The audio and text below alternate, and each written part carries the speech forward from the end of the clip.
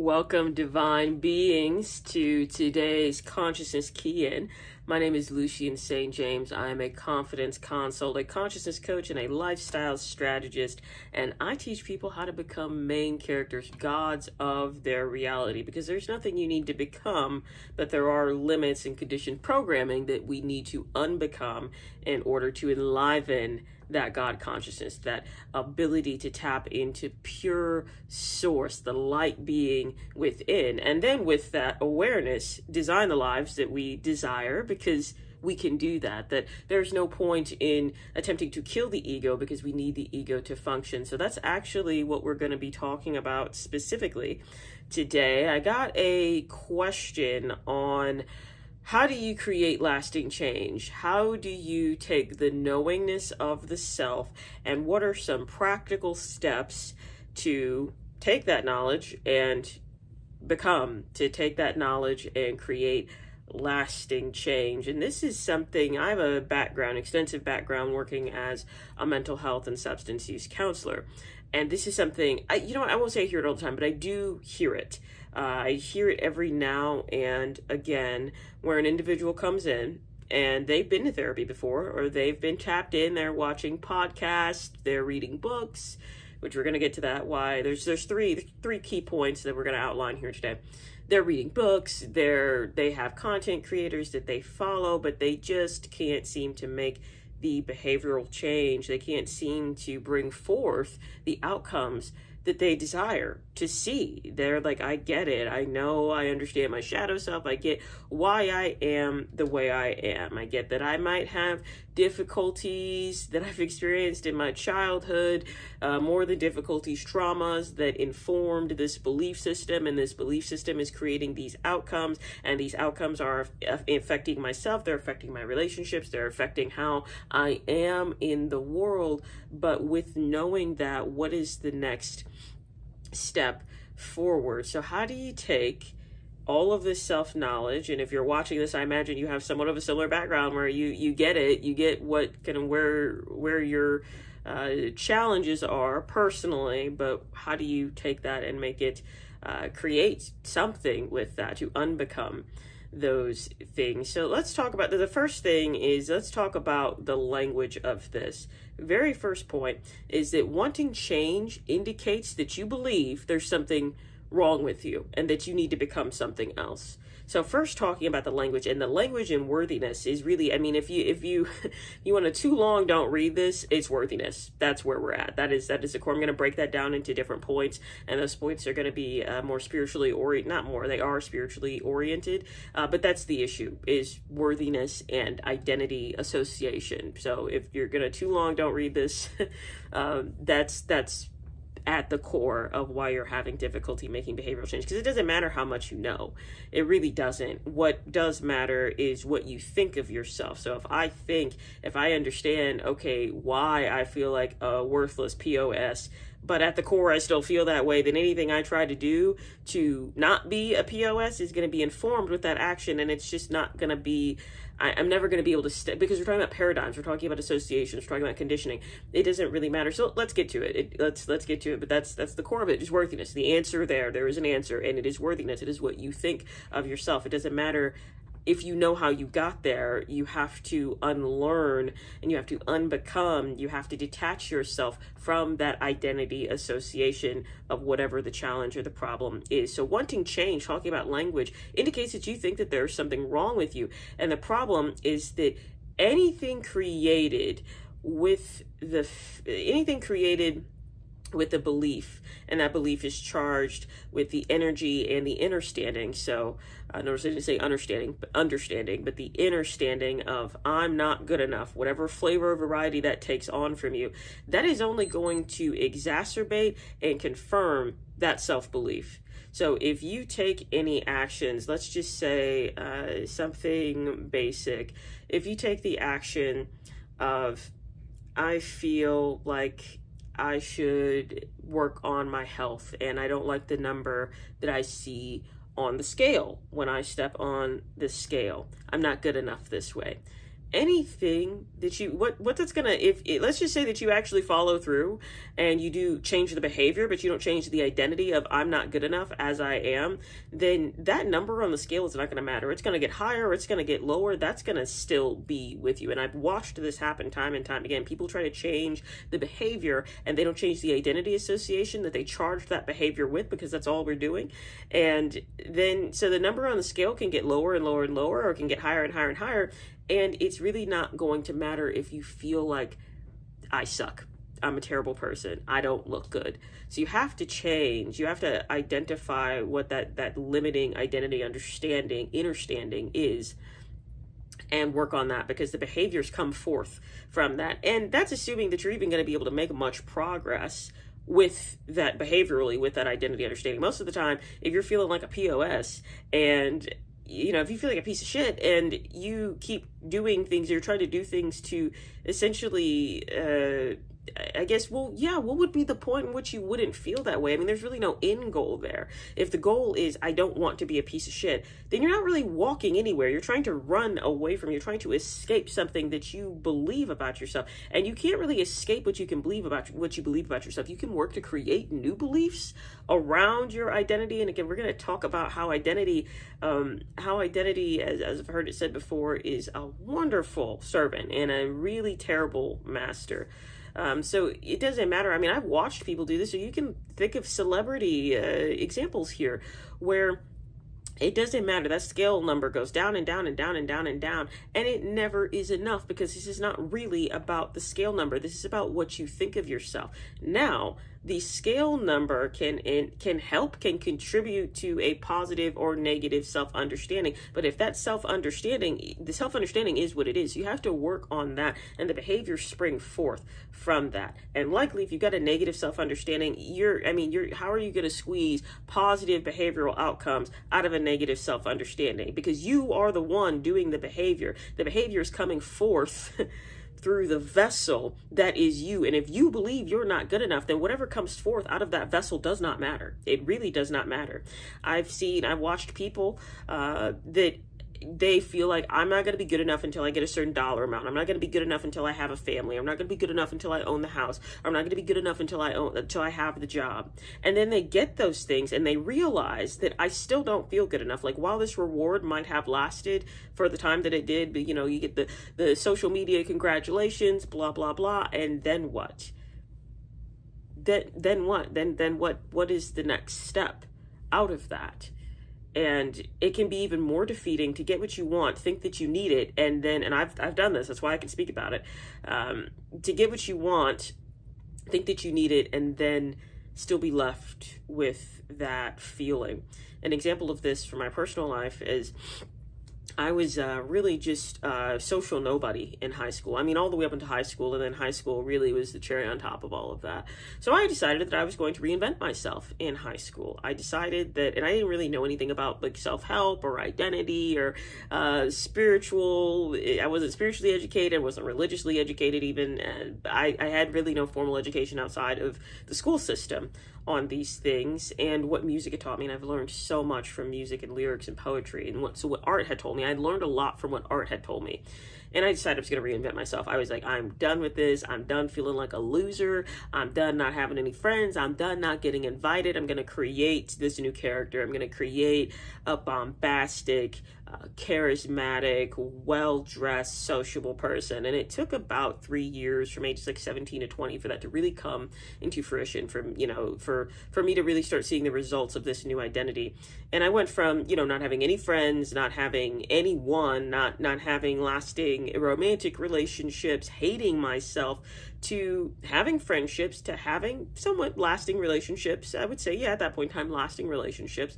Uh, having had uh, some uh, uh several sexual encounters, a few romantic encounters, um, and really getting everything that I wanted. I was a radio DJ, so I went from like being so afraid to even talk at all because the household that I grew up in did not encourage self expression.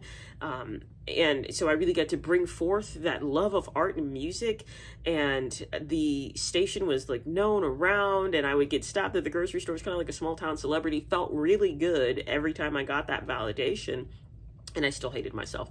So I got everything that I thought that I needed, and I still hated myself because I did all of those things charged with the energy and the understanding and the understanding that I'm not good enough. So I changed my wardrobe, I changed my hair, I changed everything about who I was. I got everything I thought that, like, okay, people that like themselves have relationships, they have friends, they have hobbies, they have things that they do, they're known, they're validated, they're liked, they talk and move a certain way and I still hated myself. So, number one is anything is knowing. I'm going to repeat this that when you want to change, you're assuming that something is wrong with you. And anything that you bring forth out of that understanding, any behaviors that you bring forth out charged with that energy, so you have to be very intentional about the understanding and the energy that you charge your behaviors with and be, to be aware of that. So, that's where the self knowledge comes into play.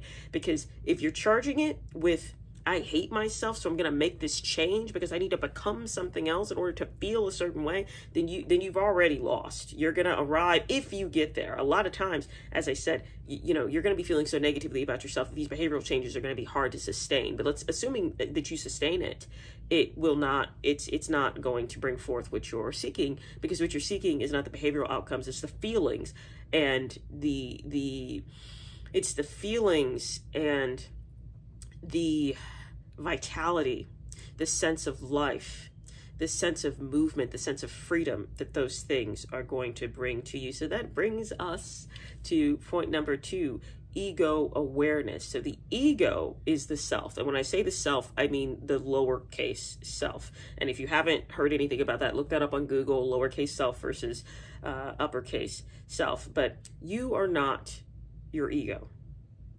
You're not your ego. Your ego, however, then so if you were to imagine like the ego is right here and source consciousness and all that is is is here.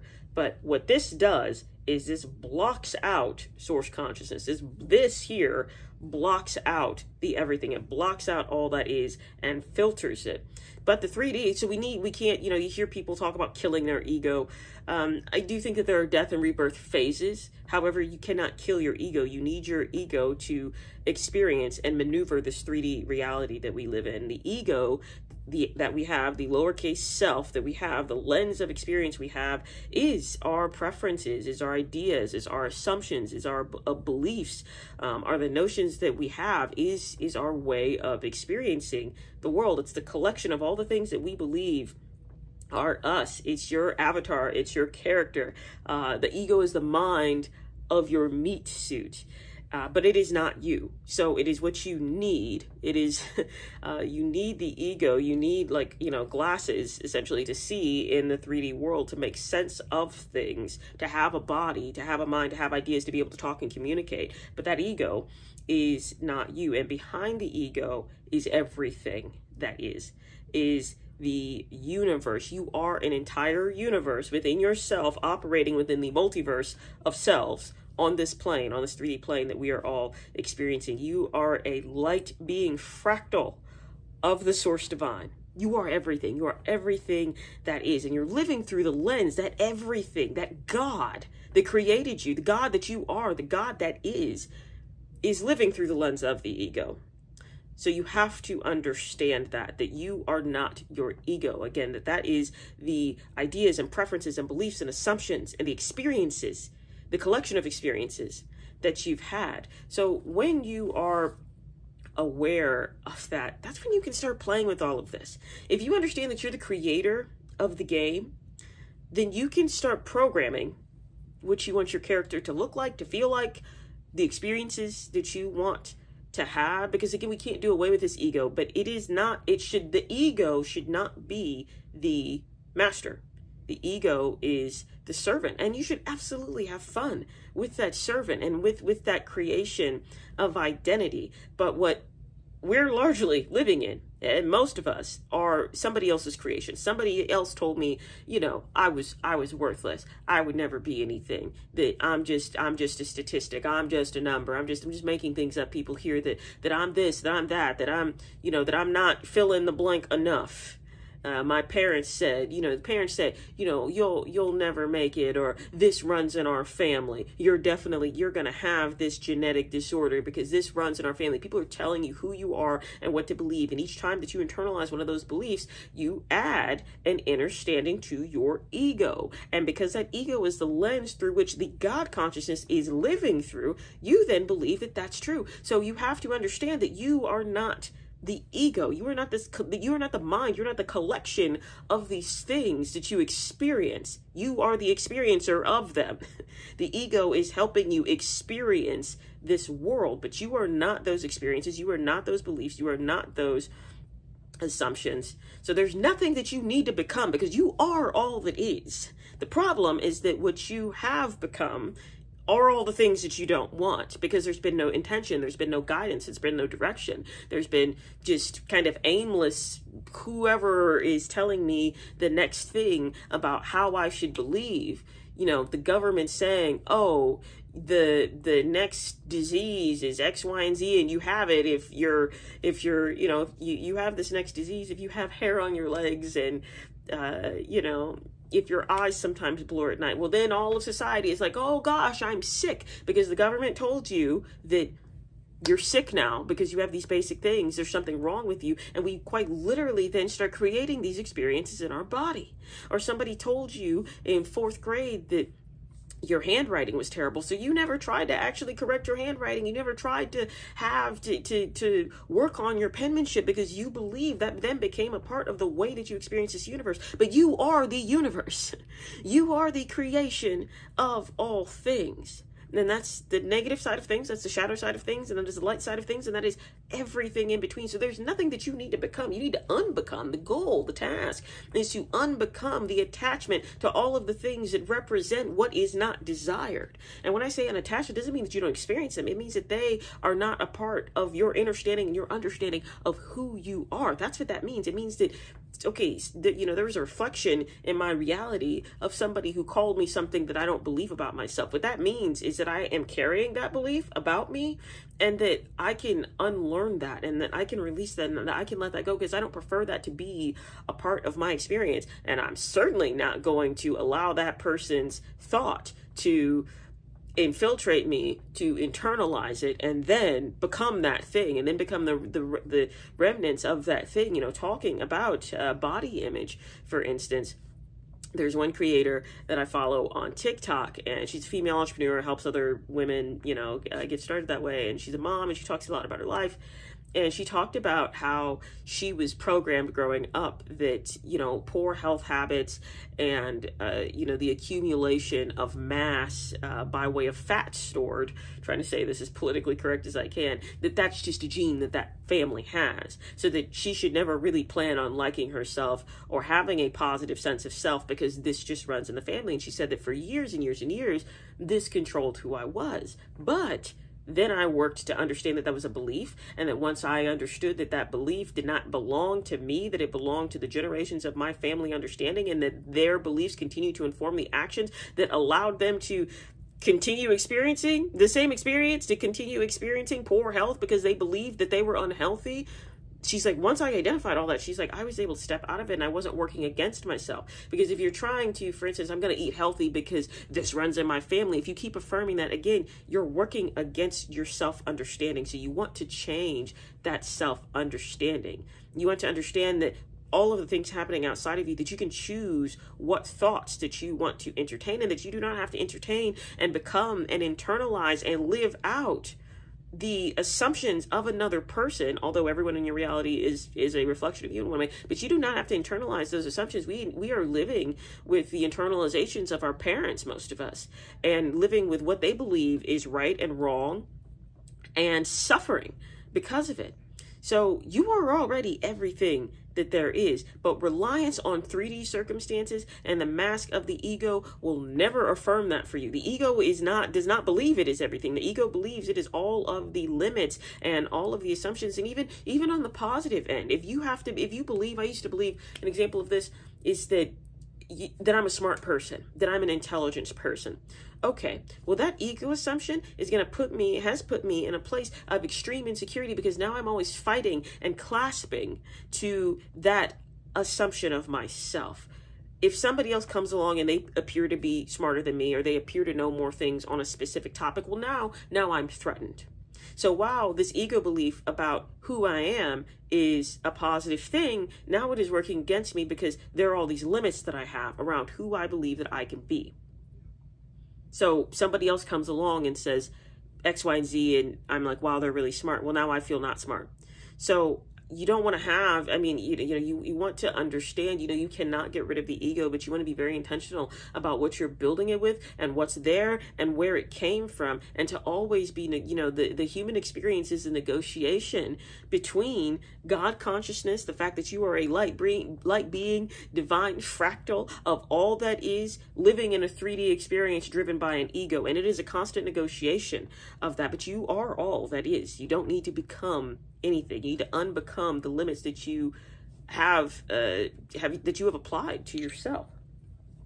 And number three, now that was ego awareness. This is more ego identity. So this is where you get to play with this a bit more. When you believe that you are all of the lies of the ego, especially I'm talking more so on the negative end, if you believe all the lies that the ego tells you, and again, back to that grasping and clinging and attaching the validity of past experiences, the thing is, and I'm going to make another video on this, uh, but I wanted to get to this one first is that you can't actually really be afraid of anything that hasn't happened yet because it hasn't happened yet. You have no there there are general patterns in the world, yes, and I can even talk on a neurochemical uh, basis as to why we can perceive certain patterns, but you cannot be afraid of something that hasn't happened yet. But what you do have are past experiences. Your brain is just one big recorder. It just, it just it's just a recorder of experiences. So you can't be afraid of something that's never happened yet. So our brain is attached to all of these, or the ego rather of the mind is attached to all of these past experiences, and it's using those past experiences to infer and inform what we believe is going to happen in the present. So then at that point in time, we're kind of just like you know living on repeat. We're just continuing to this happened before, it's gonna happen again. I got dumped before, I'm gonna I'm gonna get dumped again because I'm not worthy, and I I that sense that I'm not worthy is informed by all these past experiences that I've applied and attached to myself because I believe that that's what I am. So now I'm having to ask, well, what do I need to change about myself to be unworthy? Like all of that is what needs to be modified and released and altered. So, understanding that your ego is your identification with the world, you cannot really necessarily get rid of that. I mean, I am always saying in all my videos, there is no self. But obviously, there is an avatar that's talking to you that you spawned into your environment named Lucien St. James that has a job title as a confidence consult and a consciousness uh, coach. And I'm here talking to you. Like, those are things that, yes, are happening on the 3D basis, but that is all. So when you choose to see yourself, when you identify yourself, we talked about ego awareness is number two. When you identify yourself as the creator, and you understand that the self, whatever you identify as, that, th- that those are just things you can apply to yourself if you choose to. That all the things in your reality, they do not have to be through the lens of some negative stuff that happened 10 years ago that you can create the lens because the lens is created anyway. I mean, that is the moral of this story that if you are believing you're unworthy or that you're not fill in the blank enough and that's why you're trying to figure out how to change, how do I take this knowledge of myself and change it is because you are holding on to an identity that affirms the fact that you need to change in the first place. Now, if you desire new behavioral outcomes, if you desire new experiences, if you're experiencing, I'm not saying that okay, well, because that's the next question is if if there if there if I am everything, then why do I need to, to do anything? Why why get up in the morning? Why try anything? Because that's then if you don't do anything, that's then going to continue to create an experience you don't want to have. So there, and if you notice, the language that I'm using here is very neutral as well. So if you're experiencing a life and outcomes that you don't that you don't desire, understand your role as a creator. You created that. And I'm not saying this with any sense of fault. I'm saying this to empower you, for you to understand that the circumstances are not creating these things for you, these emotional outcomes for you. That other people, eh, the government, that your parents not create these things for you. They provided opportunities for experience that you decided over and over and over again to keep pressing yes on. So you can stop pressing yes on the identity assumptions that affirm and uh, the, the identity assumptions that affirm an experience that you no longer wish to have. So, what does this look like practically? If you are experiencing an outcome of relationships that continue to fail, and you are thinking that I need to change something about myself in order to stop having these failed relationships, you don't need to change anything about yourself. You need to uh, you need to understand and identify the points about yourself and the the ego beliefs the egoistic beliefs that have led you down a direction of a cycle of unhealthy and or failed relationships. There's something about you that is affirming the belief that you need to continue to entertain individuals that keep hurting you that's what's happening there. You don't need to change anything. You need to understand where have I been creating limits and my assumption of who I am that allows me to believe that I need to tolerate BS in order to be loved. And furthermore, why do I believe that somebody else needs to love me in order for me to experience love? Getting to that. It's not that you need to do anything differently. Now, the behavioral outcomes, yes, will be a result of a new egoistic identity understanding, but that there are always limits there. So you should always be working to unlearn what's not working, to maximize the benefits of what is working, to understand yourself as a God consciousness, as the all that is, and continue living, continue playing, continue loving, continue climbing, continue maximizing this experience that you have. But unworthiness at like at its core, fear that I'm not. Tony Robbins says I think there's two fears that all people have that you know are pretty much the prime targets for all of the negative behavioral outcomes, all of the negative circumstances that we encounter. Fear that I'm not going to be good enough, and if I'm not good enough, it's fear that I'm not enough, and fear that if I'm not enough, I won't be loved.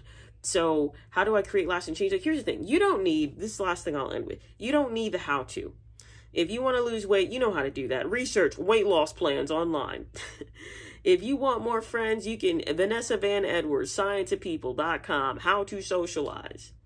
If you want more money, there's a million a million different things that you can do. You know, business plans, online, crypto, get a different job, save more money, whatever. Like there, you know, Dave Ramsey, uh, you know, the boomer like you should stop buying your avocado toast and then you'll be able to buy a house. you don't need a how to. You do not need the this is you know what what can i practically do? Like i mean i could you know if we could schedule a one-on-one and i'll say this that anytime i'm ever talking to a busy mother who says i don't have time to care for me Never are we talking about time management. We are talking about her identity assumption as a mother that has consumed all of her life, so much to the point that she doesn't think of herself as a self. She doesn't think of herself as a woman or whatever gender she might identify as. She's not thinking of herself as a person. So she thinks that she doesn't even have time for a 15 minute meditation session. She's thinking she doesn't have time to go to the gym. She's thinking she doesn't have time to prepare healthy meals because she's not thinking of herself as a self that needs anything at all. So we're never talking about time management. So you don't don't need a how to. You know what to do. You you know it is not difficult to figure out what to do to create new things. If you want to look better, find some clothes, dress better. If you don't know what to do, um, gosh, what is it? If you don't know what to buy, I think it's something called like Thread Fix or there's Thread Thread Shred or there's there's these these uh different boxes you can get. It's like Hello Fresh, but it's like for clothes. You can you can Thread Beast. I don't know what it is, but I might have even just named three different ones. But you can you don't know how to dress you can online, you know, trending styles for which I don't like trends, but trending styles for whatever your gender association is. You don't need a how to. What you do need is to unlearn the understanding and the egoistic limitations that have taught you that you're already not what you want to be. Now, yes, there will be some degree of modification in the way that you're showing up in your life. Absolutely. You're not going to get different results with the same actions. But what I see people do is they look for, you know, they, th- they think that there's a magic pill. They think that there's a magic answer that there's just one thing they need to do or one hack or one skill or something that they're missing that is keeping them from engaging in initiative and consistency and discipline and love. And it's not that you need to force discipline yourself to do something else that if you already believed that you were the evidence of that thing that you wanted to become, you wouldn't have to discipline yourself. You don't have to discipline yourself to do bad things or to do the things that you know are not already serving you, but they're familiar enough because they have, because under that familiarity is the identity assumption of beliefs of who I am. So if you learn that I can craft that, that yes, the ego, I have to operate with the ego because the, the ego is how I experience this world, but rather than that ego affirming all of these negative things that are not serving me, I can charge that ego with the intention that I am all that is. So, yes, you do have to determine what it is specifically that you want to do. You're responding to the initial question that well, how do you change? Well, you know, you know what to do. I mean, and if you don't know what to do, I would like to invite you to book a free low trip lifestyle strategy session. Uh, we can talk about what specifically is going on, what challenges you're having in your identity and your understanding and your spirituality, how to become the main character. Because that's what I teach people to do is how to become the main character, how to embody main character energy with the understanding that this is all made up. this is all made up. So if it's all made up, make it up in a way that, that benefits you rather than continuing to live in the made up scenarios that other people created for you or that other people initiated however many years ago and that you're just, you know, stuck living in that mental poverty of something that you didn't create and that you don't know how to uncreate because you're not sure where it came from. That's what I help people to do on a coaching basis most consistently. But you can always contact me here, drop comments if you have questions. Join the Illuminated Elites Consciousness community. That is my newsletter, that is my community, where again, you have direct access to me and we talk specifically about these types of topics on energy management and spiritual understanding, becoming the main character, self confidence, self esteem. There is no self. We talk about that there. And with that, I will be signing off of this video. I will catch you tomorrow for the Consciousness Key In. Thank you for watching and make sure to like, subscribe, and follow if this was of any benefit to you. And remember, there are coaching packages available. Definitely click the link, check those out.